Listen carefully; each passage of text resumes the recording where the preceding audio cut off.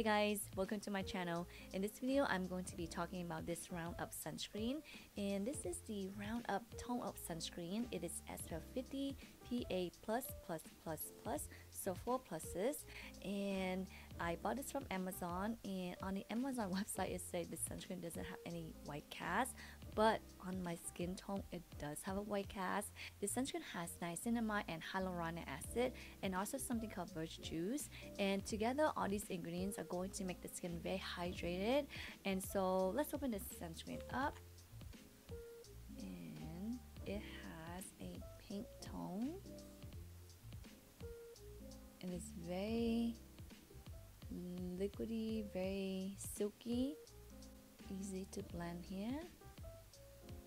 So I'm just going to put this.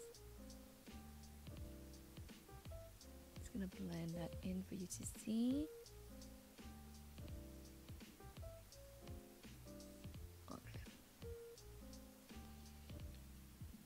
Now as you can see here, there is definitely a white cast on my skin. It is hard to tell if a Korean sunscreen is a physical sunscreen or a chemical sunscreen um, because it's so hard to find that ingredients or that um, details. But I'm going to assume that this is a chemical sunscreen because it does irritate my eyes like crazy as you can see here the finish of this sunscreen is very very oily.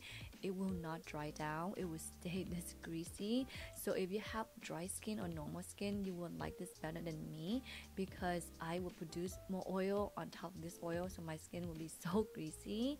A couple good things about this sunscreen is that it doesn't have any fragrance.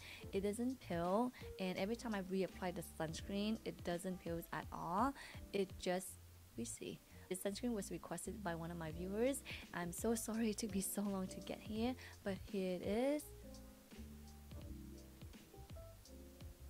Let me know if you have tried this sunscreen and if you enjoy it. Otherwise, thank you so so much for watching and like always, I will see you next time. Bye.